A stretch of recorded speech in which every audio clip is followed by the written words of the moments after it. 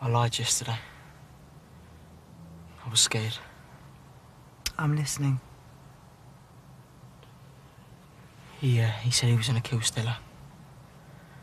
Make amends for what she did to me. He, uh, he came back.